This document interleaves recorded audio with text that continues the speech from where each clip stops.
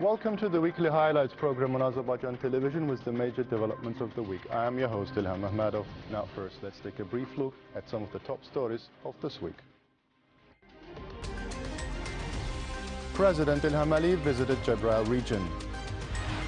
President Ilham Aliyev received the credentials of the newly appointed head of the EU delegation to Azerbaijan, Peter Mikhalkov. On October 9th, President Ilham Aliyev visited Hadrut settlement and Turk village of Khojavand region. The head of state laid the foundation of a new mosque in Hadrut settlement, familiarized himself with the construction works carried out on Hadrut Jabrail Shukurbayli Tuk Hadrut and Fizuli Hadrut highways, and laid the foundation of a new Hadrut substation. Afterwards, President Ilham Aliyev met with representatives of the public of Khojavand region and then headed to Tuk village together with them. On October 4th, President Ilham Aliyev visited Jabrail region. The trip of President, victorious Supreme Commander-in-Chief Ilham Aliyev to Jabrail region on the anniversary of its liberation, meeting with representatives of the public had a special meaning. The liberation from the Armenian occupation of the region that took a special place in the conquest of the brilliant victory in our centuries-old history, this time had a completely different meaning started from Jabrail and our first serious success in the Second Karabakh War is also associated precisely with the city of Jabrail, Jabrail region. This is an event that will forever remain in the history of our country because the victory in the Second Karabakh War is historical. Of course, the past of the historic victory was difficult. However, a whole nation rallying around the Supreme Commander-in-Chief was able to fulfill this historic mission. The Azerbaijani soldier marching with a victorious march destroyed the Armenian mythology that had been created for 30 years, restored historical justice. As President said, the enemy knelt down before us, raised the white flag. That's when our native land was able to breathe a sigh of relief and the owners returned. Today, as in other territories liberated from the occupation, Jabrail's wounds are healed and large-scale creative work is being carried out. Laying of the foundation of the Joint Service Center of Kamaz Open Joint Stock Company and the Ganja Automobile Plant Production Association within the framework of the President's trip to Jabrail, Industrial Park Araz Valley Economic Zone, which will be created in East Zangezur Economic Region, opening of the Jabrail substation 410 35 10 kilowatts, laying of the foundation of Jabrail District Central Hospital, the school building and the first multi-apartment residential area in the city of Jabrail once again demonstrated the desire of the Azerbaijani state to create. The war is over. We have won a victory, have created a new reality, and everyone must and will reckon with this reality.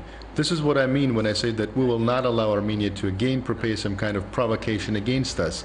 This is our legitimate right. The messages voiced by the head of state at a meeting with representatives of public of Jabrail are both regional and global. This message is of particular relevance to peace, security and development. The real indicator of this can be considered the definition of a real framework for practical cooperation in the region transport and logistics opportunities, and other initiatives. All this should be regarded as a result of the independent policy of Azerbaijan in a broad sense. The main goal of the reconstruction of Karabakh and Zangezur, along with the reintegration of the region, is first of all to create comfortable conditions for the former IDPs at their homeland. The foundation of the first residential building was laid. The construction of this building is already underway. As soon as it is ready, the first residents of the city of Jabrail will settle there. Until that time, there will be a hospital, a school, and a workplace. A program for the gradual restoration of all villages was also approved. In the near future, the master plan of Jabrail city will be presented to residents. Of course, the large-scale work done in Karabakh over the past year testifies to the reality of the goals set. But history, especially the history of victory, must never be forgotten. It must be immortalized to live it over and over again. This is the mission of laying the foundation of victory and occupation museums in Jabrail.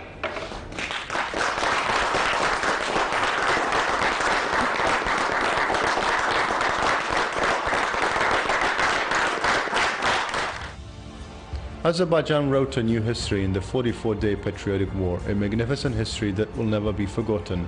Now a new life has begun in Karabakh as President Ilham Aliyev stated at the meeting with representatives of the public of Jabrail region, we have victoriously completed the war. We started with a victory and we will end the peace period with a victory.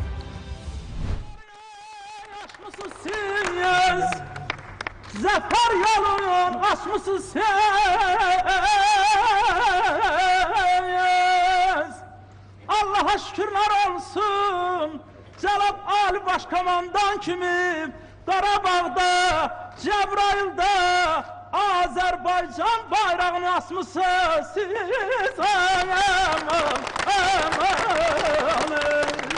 Yaşasın Azerbaycan prezidenti. Yaşasın.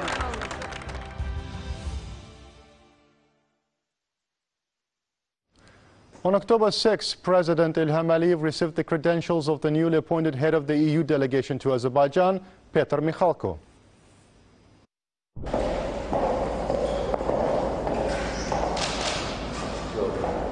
Your Excellency, respected Mr. President Ilham Aliyev, The newly appointed head of the European Union delegation to Azerbaijan, Petro Mikhalko, said he was honored to present his credentials to the head of state. He noted that Azerbaijan is an important partner for the European Union and the European Union is ready to work with our country in a strong partnership in key areas such as economy, innovation, trade, energy, investment and infrastructure. He stressed that the signing of a new comprehensive agreement between the European Union and Azerbaijan will be their main priority. Expressing interest in a stable, secure and prosperous First Caucasus within the European Union's Eastern Partnership Program, Petro Mikhalko said he looked forward to Azerbaijan's active participation and contribution in the preparation for the coming Eastern Partnership Summit. We are also ready to assume role in confidence building and peace building in close complementarity with the OSCE Minsk Group. We'd welcome opportunity to offer our experience in fields like border delimitation and demarcation using our product tools if partners are interested, said Petr Mikhalko.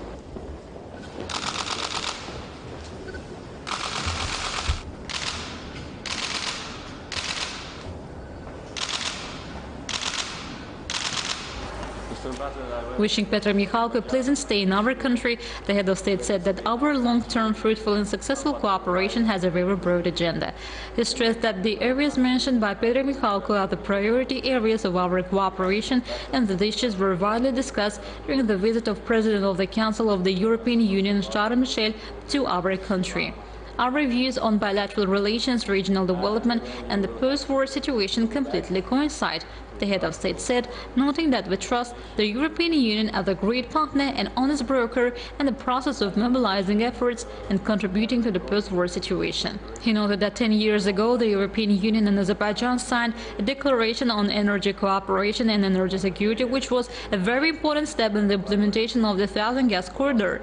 President Ilham Aliyev said our plans to complete the Southern Gas Corridor would go beyond that, adding that we could be a supplier to many other European Union member countries. We plan to work with the European Union to expand the geography of our supplies, especially now in the winter, when everyone sees that an alternative source in terms of alternative routes is energy security, said the President. Touching upon the importance of the European Commission attaching great importance to our transport sector, President Ilham Aliyev stressed that we see a serious approach of European institutions in this area. This can be a very promising area, not only in terms of economic and transport cooperation, but also in terms of stability and security in the region as a whole. President Ilham Aliyev said that issues related to humanitarian education and democratic development of Azerbaijan are on the agenda and they were working closely with the European Union. Of course, I think that one of the most important areas now is the European Union's contribution to the development, lasting peace and cooperation in the post-war period, and we are ready for that, said President Ilham Aliyev. We are ready to start negotiations on the limitation and opening of communications. Petro Mikhalko said he was ready to work very actively for the results of mutually beneficial cooperation. He stressed that the areas mentioned by President Ilham Aliyev are of great importance for them. He expressed confidence that there will be many opportunities for cooperation in the future. On October 7th, President Ilham Aliyev, First Lady Mehriban Aliyeva, their daughters Leila Aliyeva and Arzu Aliyeva attended the inauguration of Baku Zoo, reconstructed on the initiative of founder and head of Idea Public Union, Leila Aliyeva. The first zoo in Baku was opened in 1928 in the Nizami Park of Khatai district. In 1958, a new zoo was opened in Bayil. After a landslide in 1985, the zoo was moved from Bayil to its current location. These are the pictures of previous state of the Baku Zoo. In the past, the area was unrepaired. The places where the animals were kept were in disrepair as well. On the initiative of the founder and head of the Idea Public Union, Leila Aliyeva, large-scale reconstruction work was carried out here. As a result of major reconstruction work, which lasted for four years, the Baku Zoological Park has been brought to the most modern level. President Ilham Aliyev, First Lady Mehriban Aliyeva and their daughters Leila Aliyeva and Arzu Aliyeva attended the opening of the Baku Zoological Park after reconstruction. Among the strategies set by President Ilham Aliyev for the development of our country, the scale of work done to make Baku one of the most beautiful cities in the world is growing every year. In recent years, many modern social infrastructure projects have been implemented in Baku that serve the comfort of people and guests of our city. New parks and alleys, recreation areas have been created. The Baku Zoological Park, which was reconstructed on the initiative of founder and head of the Idea Public Union, Leila Aliyeva, has a special place among the enrichment of city life with various projects. In general, the Idea Public Union has implemented very important projects in the capital as well as in the regions to protect the environment and solve environmental problems. This park was created at the level of modern zoos in the world. Of course, this project will be one of the most popular destinations for many tourists who will visit Baku in the post-pandemic period. After the reconstruction, the zoological park has become a comfortable and interesting place for visitors. The total area has almost doubled to 4.25 hectares. During the reconstruction, special attention was paid to the full preservation of existing trees and shrubs in the area. A more natural environment has been created in the zoological park. Along with other innovations and various entertainment facilities, the area has a playground, lecture hall and electronic guide system. The zoo has become a place where everyone, people with disabilities, visitors of all ages, can relax and spend a good time. As a result of major reconstruction, more comfortable aviaries, aquaterrarium, artificial lakes and pools, and veterinary clinic have been built for the zoo's residents. Animal shelters have been designed to meet the unique needs of each species and have been significantly expanded. It should be noted that not only the appearance of Baku Zoological Park, but also its mission and approach is renewed. The main goal of the Baku Zoological Park is to become a center of education, research and conservation for people to learn about the wildlife, especially the rare fauna of Azerbaijan. In this regard, in terms of increasing the natural populations and reintroduction of species listed in the Red Book of Azerbaijan, fertile conditions have been created here for the breeding of animals. Zoos are not only a place of entertainment, but also a scientific and educational institution. In general, the activities of the zoo include the protection of the environment as well as rare and endangered species, reproduction, research aimed at improving the conditions for keeping animals in accordance with the relevant requirements, informing people in the field of wildlife and biodiversity.